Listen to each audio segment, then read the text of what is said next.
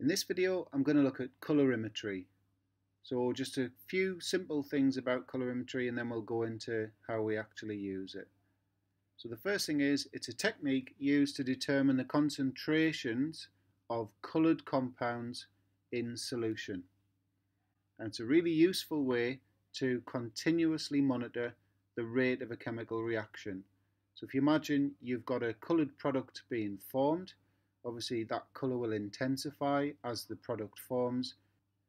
And obviously the opposite's true if you've got a coloured substance that's reacting away, its colour, the intensity of its colour will decrease over the course of the reaction. So colorimetry can be used to measure the colour of a compound and as you'll see we can actually translate that into concentration and rate.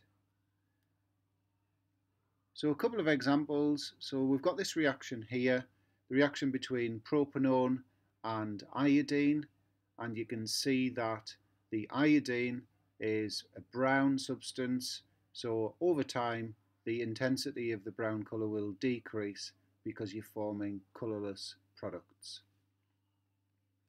And an example of where you've got a coloured product forming, so we've got this one here, the reaction between thiosulfate ions and acid.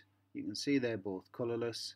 And one of the products there, that sulfur, is a yellow solid.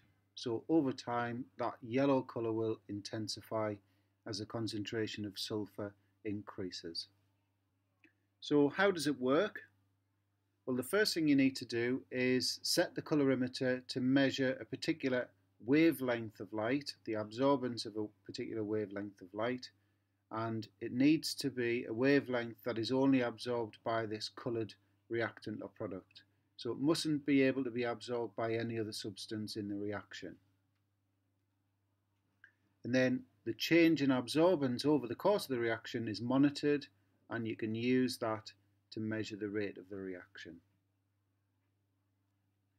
So we'll run through the procedure now. So on the right there's a picture of a colorimeter and so the first thing you would do is you would set the colorimeter to absorb that particular wavelength of light. Remember, it's a wavelength of light that only the coloured substance absorbs. You would then calibrate the colorimeter, and how would you do that? Well, the first thing you'd need to do is measure the absorbance at zero concentration. So what you'd do is you would put some distilled water in this little plastic container here that sits in there and the light shone through there. So you would put distilled water in there and measure the absorbance. And that's obviously your zero concentration mark. The next thing you would do is you would measure the absorbance using solutions of known concentration. And then you would carry out the reaction that, that you're wanting to follow the rate of and at regular intervals you would take out samples and measure the absorbance at that particular point. Sometimes you might see in textbooks that it's quenched or it's, it's put in ice water and that obviously stops the reaction at that instant.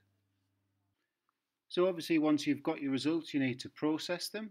So the first thing you do would be to plot a calibration curve using those absorbance readings for the solutions at known concentration not forgetting the distilled water result.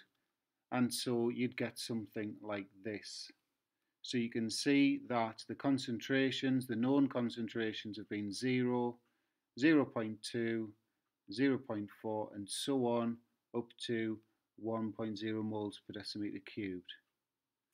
So once you've got the calibration curve, you can use it to convert those absorbances that you measured at those regular time intervals into concentrations.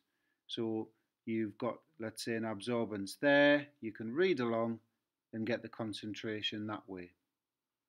And then obviously what you can do from that is plot a concentration time graph and then calculate the rate at any point by drawing a tangent at that point and calculating the gradient.